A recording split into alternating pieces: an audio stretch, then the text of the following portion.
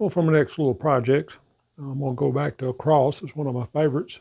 I haven't been done as many in the last year as I normally do. And I saw this one, not only is it a cross, it uh, gets into uh, the type of work that a scroll saw is really intended for is fretwork. This fretwork cross. It's not super difficult. I'm probably going to cut that with a number three. It's 3 8 inch walnut.